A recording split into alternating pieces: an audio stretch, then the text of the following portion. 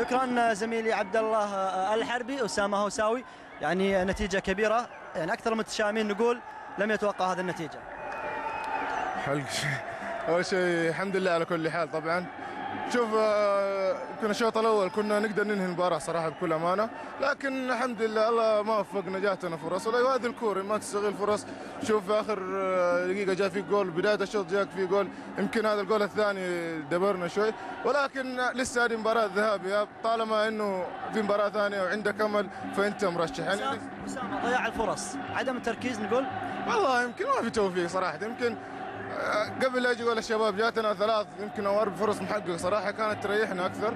ولكن زي ما قلت لك هذه الكوره في لحظات تتغير النتائج وعندنا أمل إن شاء الله المباراة الجاية. ما في شيء مستحيل في عالم الكرة. نقدر إن شاء الله نعوضها في المباراة الجاية.